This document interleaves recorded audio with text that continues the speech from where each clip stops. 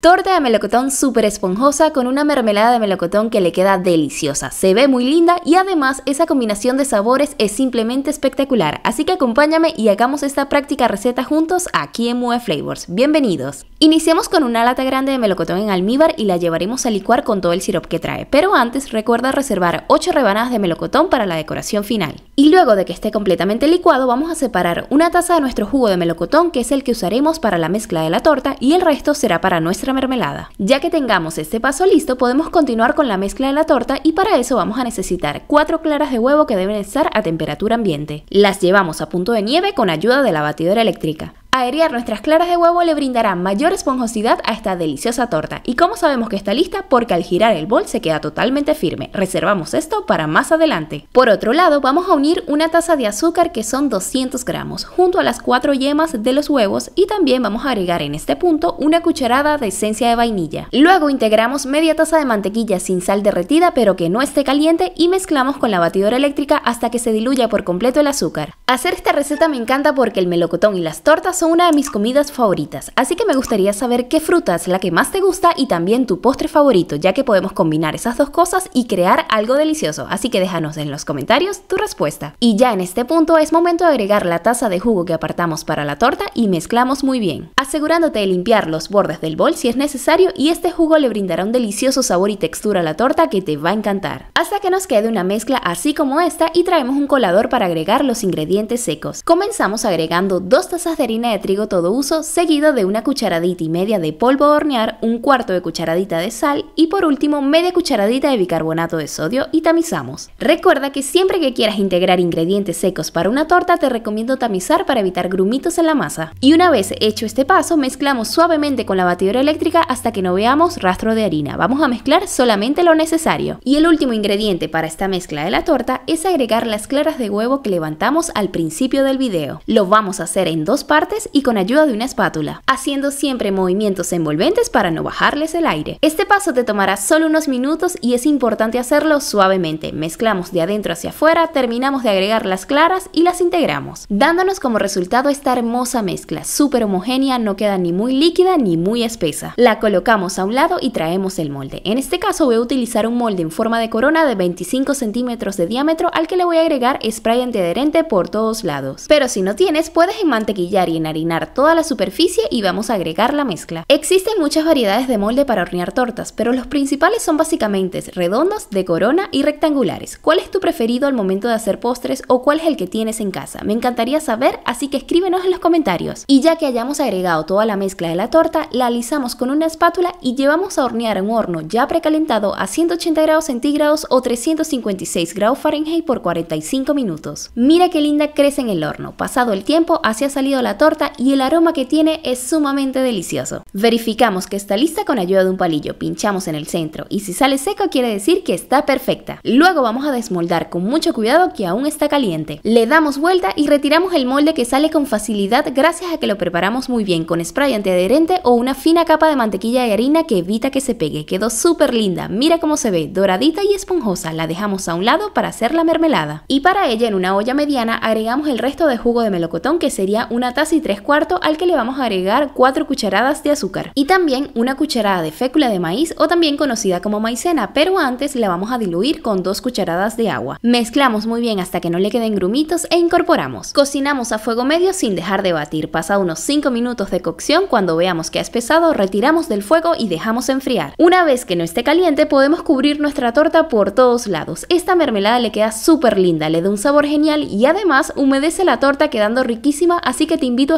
porque tienes que probarla. Terminamos decorando con algunas rebanadas de melocotón que apartamos al principio de la receta para este momento y una de las cosas muy importantes es que la decoración más linda es la que a ti más te guste. Y para darle un contraste de color colocamos algunas cerezas en medio de cada rebanada de melocotón y lista esta delicia, súper linda, llena de mucho sabor y lo mejor de todo es que la torta queda muy sabrosa y esponjosa. Así que aquí te dejo la lista de los ingredientes, puedes dar pausa al video para copiarlos o también los puedes encontrar en la descripción del video. Pero antes de irme quiero quiero mostrarte nuevamente la parte de adentro de la torta. Tiene una miga perfecta, súper suavecita y su sabor te aseguro que te va a encantar. Cada rebanada de la torta le agregas un poco más de mermelada para que humedezca la parte del centro y se vuelve mágica. Una verdadera delicia. Así que si te ha gustado esta receta, regálame un me gusta, compártelo con todos tus amigos y suscríbete a nuestro canal Move Flavors, que es totalmente gratis y así no te perderás de cada nuevo video. Nos vemos muy pronto en la próxima receta.